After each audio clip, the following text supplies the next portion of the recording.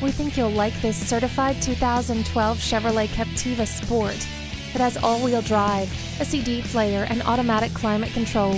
It also has heated leather seats, OnStar, and a sunroof. The traction control and warranty make it hard to pass up. Come see it today. Stop in today for a no obligation test drive and shop over 16 acres of inventory. We are conveniently located in Eden Prairie at Highway 494 and Highway 5.